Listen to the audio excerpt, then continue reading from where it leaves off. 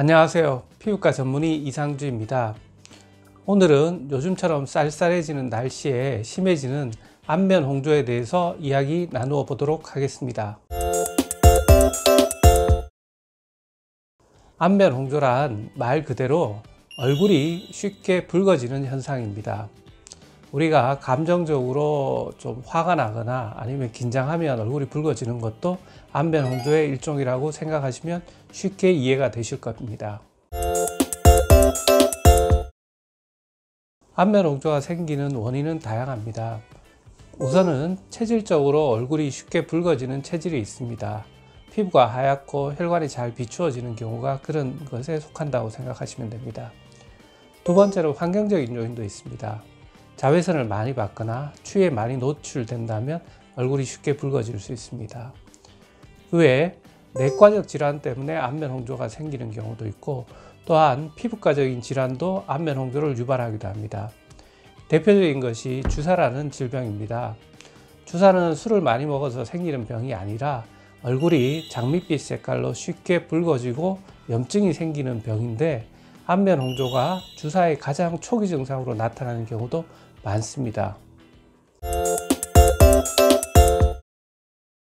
안면 홍조를 치료하는 방법은 크게 한 세 가지 정도로 나누어서 생각해 볼 수 있습니다.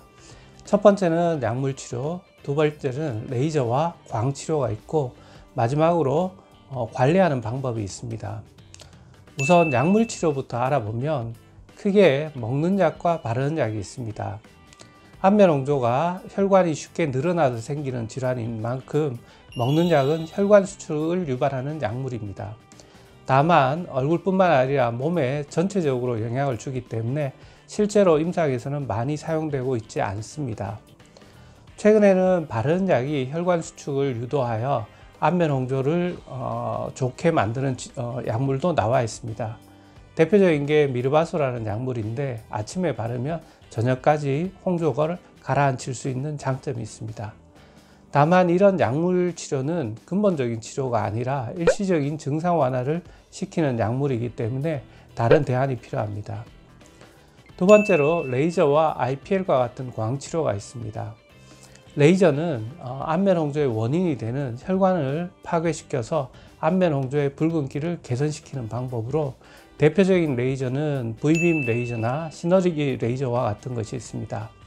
이들 레이저는 pulse dye 레이저라고 하는데 혈관에만 선택적으로 작용하여 안면 홍조의 원인인 혈관을 파괴시키게 됩니다.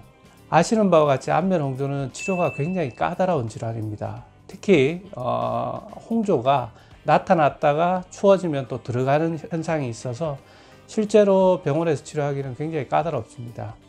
최근에는 얼굴에 혈관 확장제를 바르고 얼굴을 더 붉게 만든 후에 레이저 치료를 하는 홍반 유도 레이저 치료와 같은 방법도 어, 좋은 효과를 거두고 있고 논문에도 많이 발표되었습니다.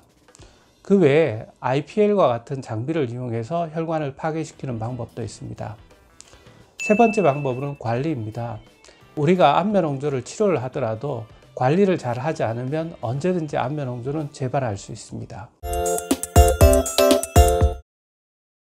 안면 홍조의 치료에 있어서 중요한 포인트는 세 가지입니다.